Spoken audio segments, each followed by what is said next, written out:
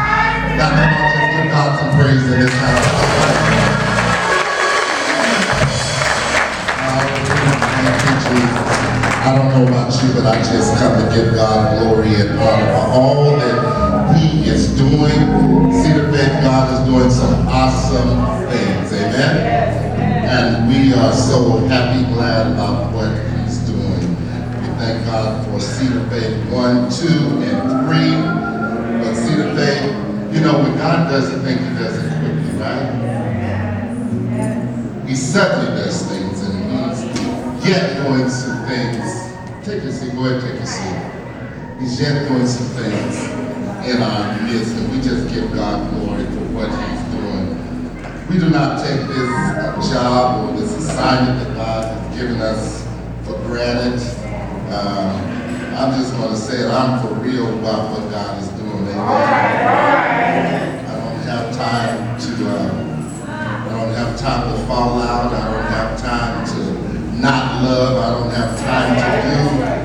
Only thing I have time to do is get right and get ready to see God. Amen. Amen. This is the assignment that God called me to do. And so I'm just doing it the best way that I know how. Amen. Amen. And it is a scary task. It's a scary task in knowing what God wants to do. And you at one level and God is saying that he sees you at this level and you say, but God, I'm here. Uh, but I thank God, he said he will put us, seat us in heavenly places. Amen. And so I just thank God that maybe um, physically I'm not what God wants me to be, but spiritually he already sees me there. That's why we can preach that message like last week. There's more to me than you can see. Amen. There's more to me than you can see. So we thank God that there's more, that God is doing some great things. The scripture said, eyes have not seen, nor ears heard, nor has it entered the hearts of men, the good things that God has in store for them that love him and called according to his purpose. So we know God is getting ready to do some great and awesome things. Amen. Amen. I want I want us really to this week to get on the phone. We have a lot of members that are out. We want to get on the phone and tell them to meet us here back on Thursday night and let's start restoration out right. Amen. Let's come and have a Holy Ghost good time. And then on that Sunday morning, all the clergy reiterated all the clergy in your collars and your robes for the consecration. Uh, this is something um, that I'm just saying, Lord, have your way. Have your way, have your way. And then on Sunday night, all women in white, all women in white, and men back in the clergy, but all women in white. We're going to consecrate all the mothers that's over 60 years old. How many know we need mothers to help us through it? Mothers was the birthing canal. We need some mothers to help us through. And then we'll be consecrating for the first time, Supervisor Clark to be the supervisor of the women's department. Amen. Amen. I'm excited.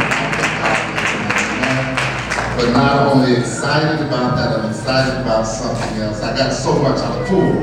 I'm gonna get to the word, but I'm full.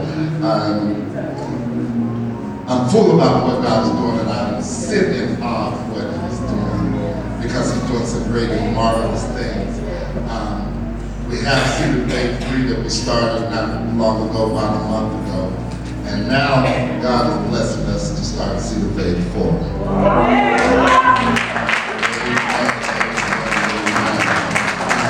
Got a phone call yesterday from one of our ministers and um, ministers in the church, Prophet Sue, will be moving to Dallas, Oregon. But she said, Pastor Wade, I'm committed here for Sunday mornings Bible study. This is my church.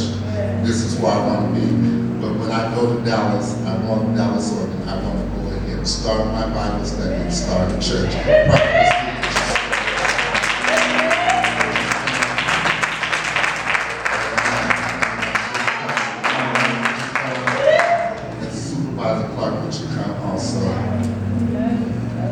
And we just thank God, just right there. We thank God for this woman of God. We thank God for this woman of God that she's stepping out by faith to do the work. Amen. Amen.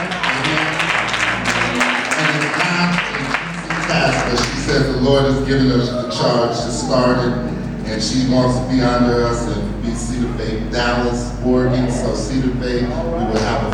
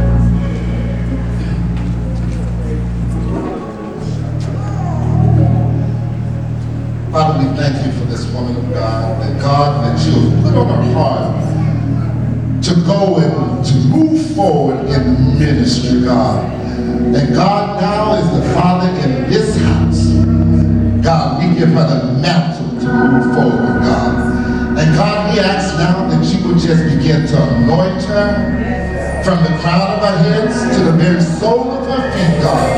God, everything that you have for her to do, God, we decree it now that it is done, God. That you want to give her every one of the resources to get it done. God, we thank you, we thank you, and God, and we all lay hands on her, God. We ask that mantle rest on her now. In the name of Jesus. Ishandarabashata. Father, now we breathe a fresh,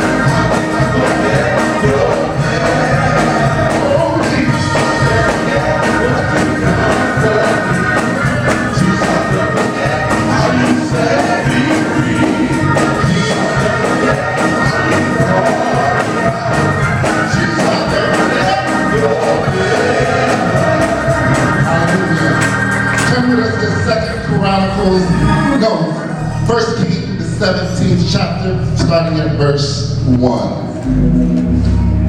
Amen. And we won't be before you long. And then we're going to jump with your fingers to the 18th chapter and verse 40. And when you get it, say amen. amen.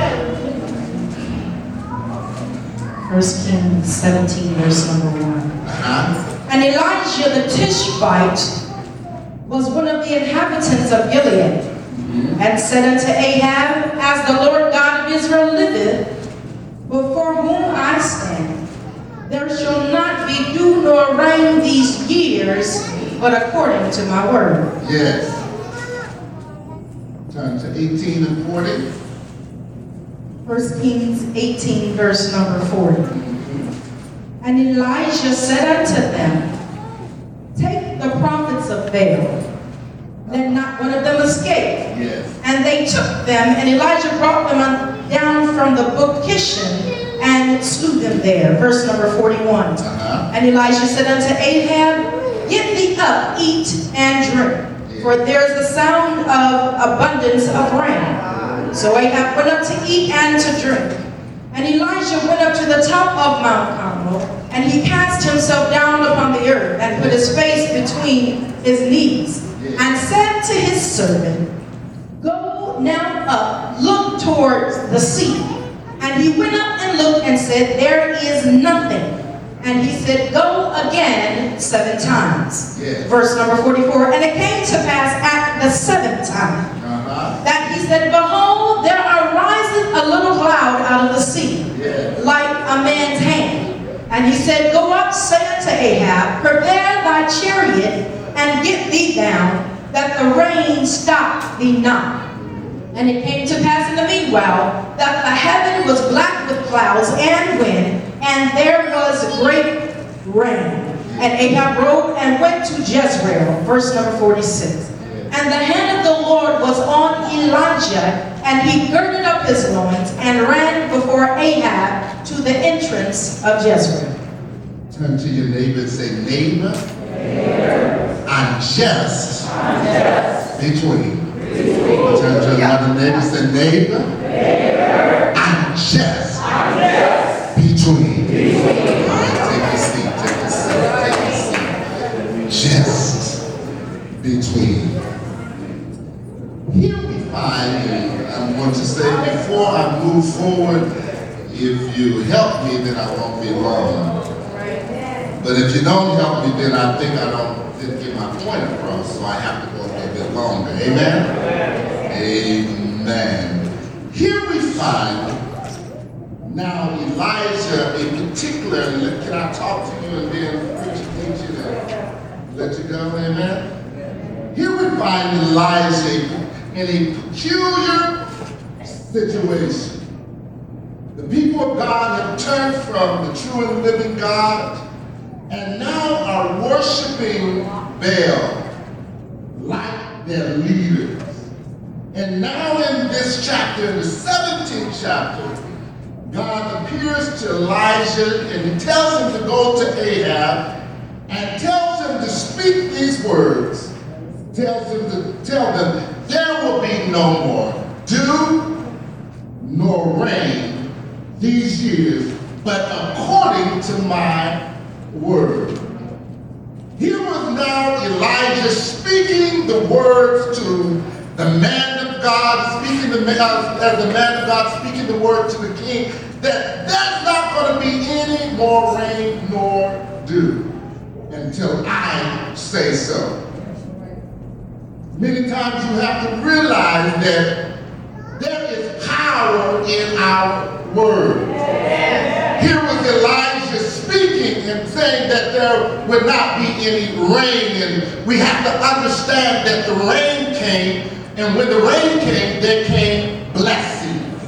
There came spiritual blessings for the people of God. But now God began to speak to the man of God and said, There's not going to be any more of this anymore until I speak again. Have you ever, as a people of God, just been in between situations?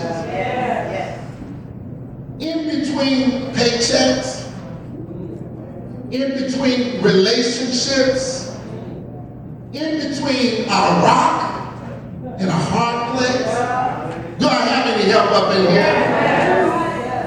Matter of fact, have any of you just been in between a job? So many times, we as folks, we call it unemployment, but as dignified folks, they call it, I'm just in between careers. But it is a peculiar situation when you're in between something because it makes you feel uneasy. It's a place of uncertainty, especially when you're not on the Lord's side. And so many times we as people of God, we are in between circumstances, and many of us, we we get to this place where we wonder, God, where are you? God, I'm so, I'm so, uh, I'm so to this place where God, I was on the mountaintop last week, but now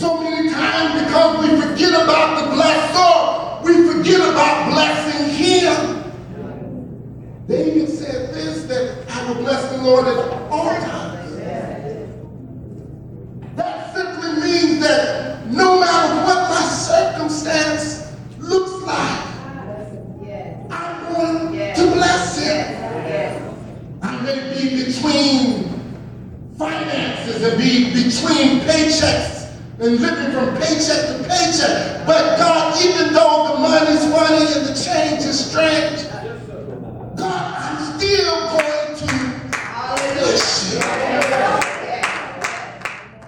God, even though my situation with my relationship might not be what it should be, God, I'm still going to bless you. Even though I'm in between, I'm going to learn how to you no matter But so many of us, we forget how to give God glory and praise because we're in between situations. Here was Elijah and the people of God, they were in between rains. They were excited when the rains was coming because that was the blessing, that was harvest, that was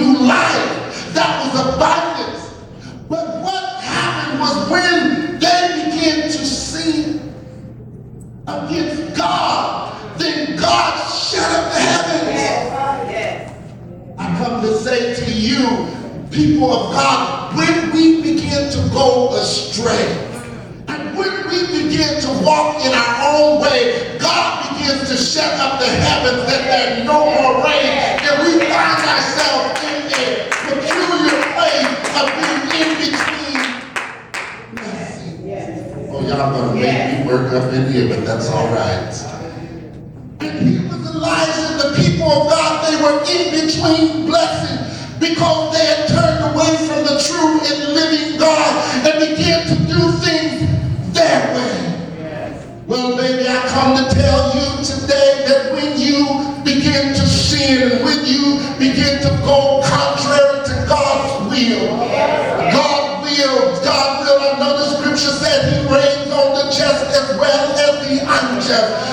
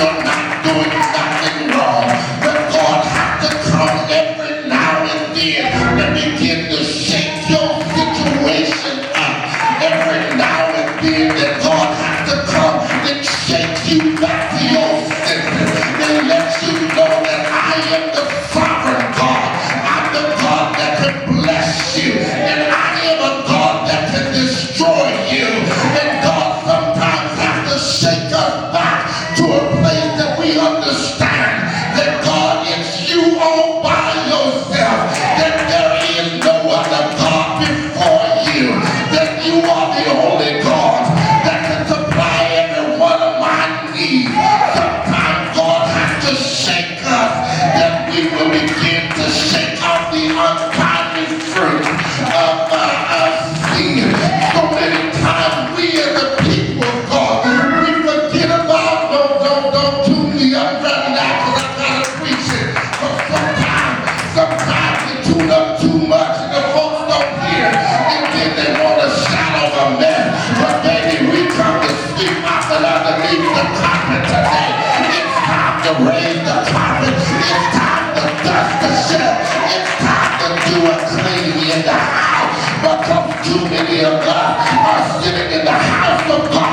filthy, dirty, nasty, They wonder why God won't rain on us.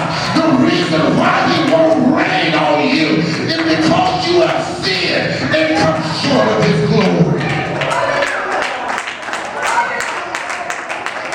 Too many of us, we are sitting in a place of in between because we have allowed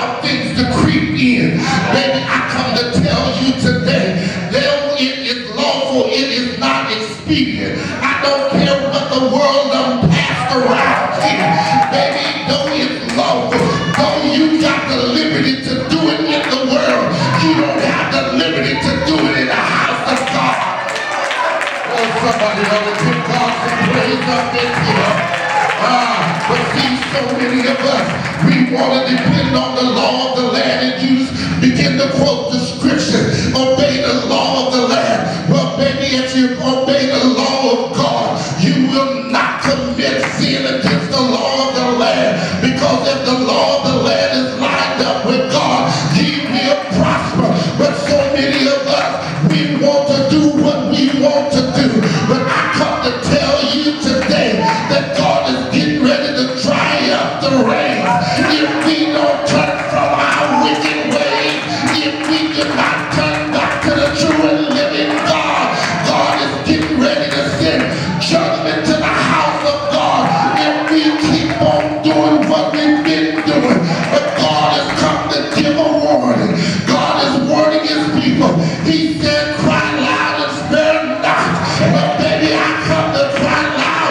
vingaste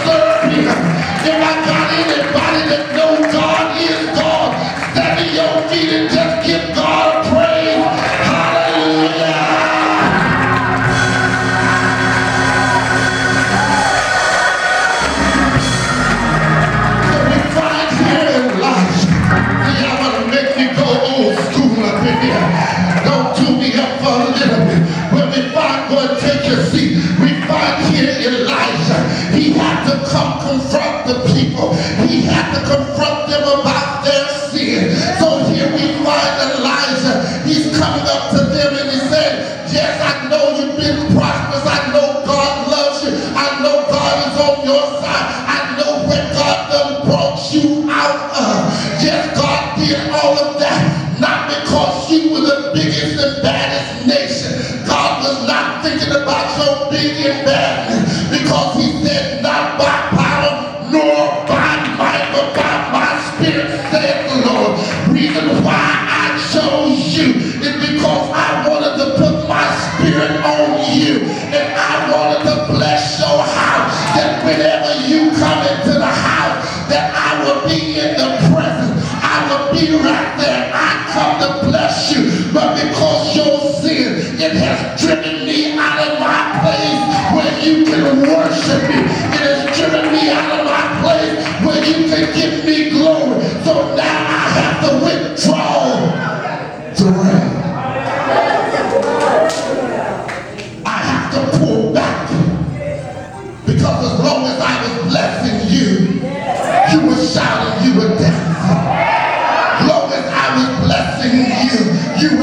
to the church.